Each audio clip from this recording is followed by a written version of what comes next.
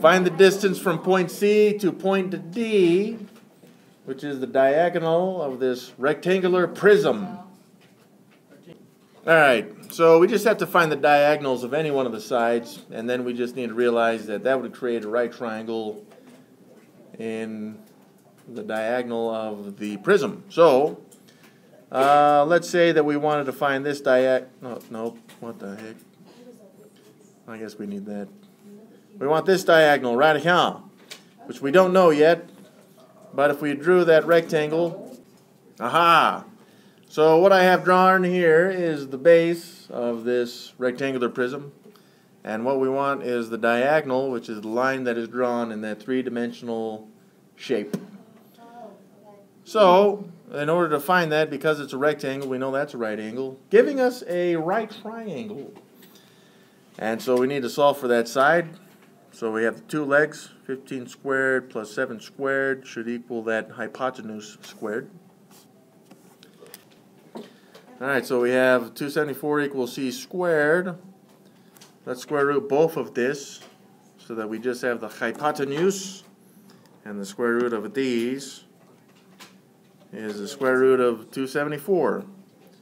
I don't need the decimal on this, and you'll see why here in a moment, because we'll have to square this one as well. All right. You know that America is running out of bacon? All right, so we can put that square root of 274 right here. Whoops, that's the wrong number. 274. Now that's that uh, diagonal right here. So now I can draw that right triangle, knowing that that bottom part is the square root of 274. And the height of this, which is right here, which will be this side now. Yes, that's this same length right here, 9 millimeters. We can label that one as well. So all we got to do is figure out what the hypotenuse. is. So hypotenuse is So let's uh, go ahead and figure that out. We got 9 squared plus the square root of 274 squared. squared. You guys see why that works out that way? That's c squared. The square and the square root will cancel out right yonder.